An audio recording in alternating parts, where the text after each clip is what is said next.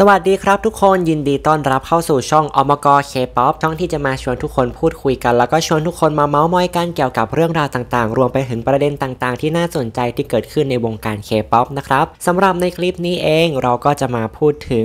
อีกหนึ่งหนุ่มนะครับ leader จากวง BTS นั่นก็คือ RM หรือว่านัมจุนนั่นเอง ซึ่งในตอนนี้นะครับนัมจุนนั้นก็มีประเด็นที่ทำให้ชาวเน็ตเนี่ยได้มีการพูดถึง หลังจากที่นัมจุนนั้นได้มีการอัพ IG Story ลงไป เพื่อชื่นชมและเป็นกำลังใจให้กับนักกีฬาจากประเทศเกาหลี ที่เข้าแข่งกีฬาสเก็ตน้ำแข็งนะครับในงานกีฬาโอลิมปิกฤดูหนาวที่จัดขึ้นในตอนนี้ ซึ่งในวันที่มีการแข่งขันนั่นเองเนี่ยนัมจุนหรือว่า RM จาก BTS นะครับก็ได้มีการรับชมการถ่ายทอดงานกีฬานี้อยู่ และนัมจุนเนี่ยก็ได้มีการอัพ IG Story สั้นๆนะครับในช็อตที่เป็นการแข่งขันของกีฬานี้ พร้อมกับใส่อีโมติคอนปรบมือแล้วก็ยกนิ้วโป้งนะครับและเพียงอีโมติคอน 3 ตัวนี้นะครับนัมจุนก็ไม่ได้มีการใส่แคปชั่นใดๆเพิ่มเติมลงไปใน Story IG นี้เลยหลังจากที่เขาได้มีการอัพคลิป Story IG นี้ลงไปนะครับ ก็ได้มีความเคลื่อนไหวออกมาอีกครั้ง เนื่องจากว่าเกิดความไม่พอใจจากแฟนๆที่ติดตามเขาใน IG เนื่องจากว่าการแข่งขันในครั้งนี้นะครับ มีประเด็นดราม่าเกิดขึ้นในการแข่งขัน และชาวจีนนั้นเกิดความไม่พอใจ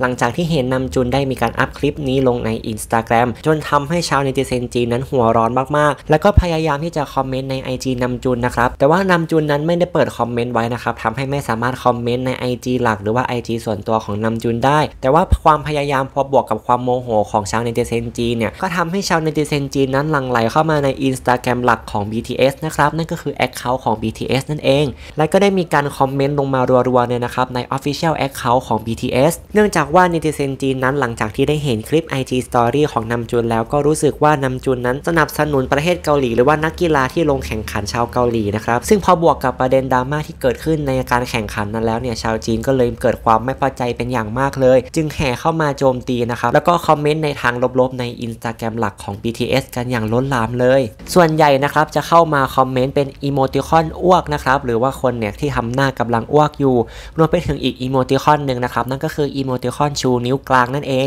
ซึ่งชาว netizen จีนนั้นก็แห่กันเข้ามาคอมเมนต์กันเยอะแยะมากมายเลยใน Instagram Account หลักของ BTS นอกจากอีโมติคอน 2 ตัวนี้ที่จะเห็นเยอะมากๆแล้วนะครับก็ยังมีคอมเมนต์แสดงความเกลียดชังอีกมากมายเลยที่ชาว netizen จีนนั้นมาพูดถึงนัมจุนในการกระทำครั้งนี้โดยคอมเมนต์หนึ่งจากชาวจีนนะครับก็ได้มีการคอมเมนต์เอาไว้ว่านัมจุนคือไอดอลชายที่น่าเกลียดที่สุดสำหรับฉัน บางคอมเมนต์นะครับก็ได้บอกเอาไว้ว่า นี่คุณกำลังให้การสนับสนุนคนที่กระทำผิดอยู่หรอ อีกคอมเมนต์หนึ่งนะครับก็ได้บอกเอาไว้ว่ากำลังรู้สึกอิจฉาอยู่ละสิถึงได้ทำอะไรแบบนี้ออกมา คอมเมนต์บางส่วนเนี่ยก็ได้มีการว่าร้ายนัมจุนอยู่พอสมควรเลยทีเดียว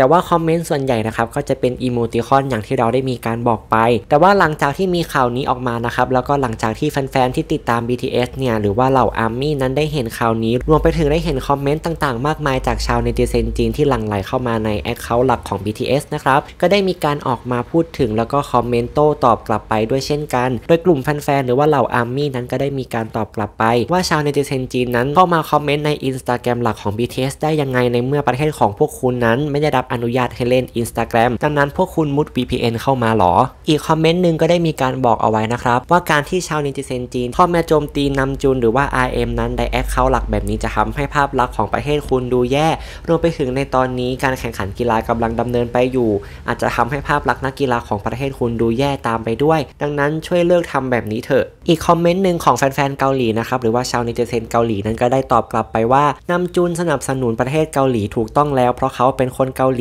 และ BTS มีศิลปินทุกคนเป็นคนสัญชาติเกาหลี ดังนั้นไม่ผิดเลยที่นำจุนจะสนับสนุนประเทศตัวเอง อีกหนึ่งคอมเมนต์จากแฟนๆชาวเกาหลีนะครับก็ได้บอกเอาไว้ว่า ในตอนแรกฉันรู้สึกหัวเสียมากๆที่เห็นข่าวนี้ และการกระทำแบบนี้จากชาว netizen จีน แต่ในตอนนี้ฉันรู้สึกดีใจมากๆเลย ที่ในทวิตเตอร์มีแฟนๆต่างประเทศพูดถึงเรื่องนี้ และนำสิ่งนี้ไปแชร์ต่อกันพร้อมที่จะมาปกป้อง BTS กันทุกครั้งที่เกิดเหตุการณ์ ดังนั้นฉันคิดว่าเหตุการณ์นี้ทำให้ BTS ได้เห็นว่าแฟนคลับของพวกเขารักพวกเขาขนาดไหน นอกจากคอมเมนต์เหล่านี้นะครับ ก็ยังมีคอมเมนต์อีกหลายส่วนเลยนะครับ ที่ได้เข้ามาบอกว่า BTS นั้นเป็นกลุ่มไอดอลแบบพระอาทิตย์ แล้วก็มีแฟนคลับที่เป็นรูปแบบของพระอาทิตย์ไม่มีวันตกนะครับ ซึ่งการเปรียบเทียบนี้เองเนี่ยก็เป็นการบอกไว้ว่า BTS นั้นเนี่ยเป็นกลุ่มไอดอลที่มีแฟนคลับมากมายอยู่ทั่วทุกมุมโลกเลย ดังนั้นเนี่ยแฟนคลับทุกคนสามารถเข้ามาช่วยปกป้อง BTS ได้ทุกครั้งแล้วก็ตลอดเวลา 24 ชั่วโมงเลยนะครับและจากคอมเมนต์แนวนี้นะครับในตอนนี้ IG ของ BTS นั้นเนี่ยก็เต็มไปด้วยหัวใจใจสีม่วงมากมายนะครับ ซึ่งแสดงให้เห็นแล้วนะครับว่ากลุ่มแฟนคลับของ BTS นั้นเป็นแฟนดอมที่พระอาทิตย์ไม่มีวันตกจริงๆ เพราะว่าในตอนนี้ Instagram หลักของ BTS นั้น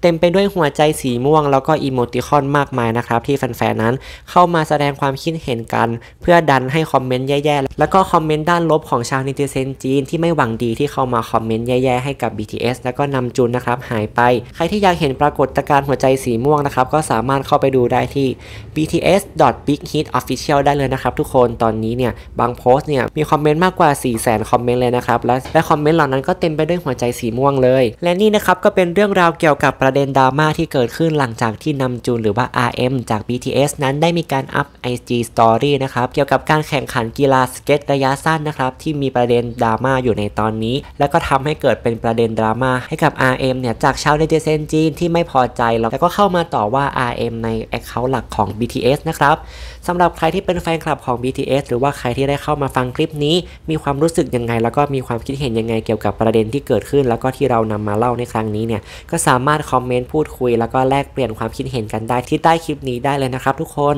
รวมไปถึงแฟนๆที่ติดตาม BTS แล้วก็ใครที่เป็นเมนนัมจุนเนี่ยรู้สึกยังไงกันบ้างก็มาพูดคุยกันได้นะครับและใครที่อยากเห็นปรากฏการณ์หัวใจสีม่วงที่เราได้มีการพูดไปนะครับสามารถเข้าไปดูได้ที่ Account หลักของ BTS ใน Instagram แล้วก็อย่าลืมเข้าไปให้กำลังใจ BTS แล้วก็นัมจุนในนั้นได้เช่นกันนะครับสำหรับคลิปนี้ OMK KPOP ก็ขอตัวลาไปเพียงเท่านี้นะครับทุกคนใครที่ชอบเนี่ยก็อย่าลืมกดไลค์เป็นกำลังใจให้กัน แล้วก็อย่าลืมกดติดตามช่อง OMK KPOP ของเราเอาไว้ด้วยนะครับกดติดตามแล้วอย่าลืมว่าต้องกดกระดิ่งแจ้งเตือนกันไว้ด้วยนะ จะได้ไม่พลาดเวลาที่เราลงคลิปใหม่ๆ ทุกคนจะได้รีบเข้ามาฟัง แล้วก็รีบมาเมาส์มอยพูดคุยกันแบบนี้อีกนะครับต่อไป OMK KPOP จะนำเอาเรื่องราวอะไรที่เกิดขึ้นในวงการเคป๊อปมาเล่าให้ทุกคนฟัง แล้วก็มาชวนทุกคนพูดคุยเมาส์มอยแลกเปลี่ยนความคิดเห็นกันแบบนี้อีกก็รอติดตามกันไว้ได้เลยนะครับ หรือใครมีคอนเทนต์อะไรอยากให้เราทำอยากให้เราพูดเกี่ยวกับวงไหนศิลปินไอดอลท่านไหนก็สามารถแนะนำมาได้เลยนะครับสำหรับคลิปนี้ OMK KPOP ขอตัวลาไปเพียงเท่านี้นะครับกลับมาเจอกันใหม่ในคลิปหน้าครับทุกคน สวัสดีครับ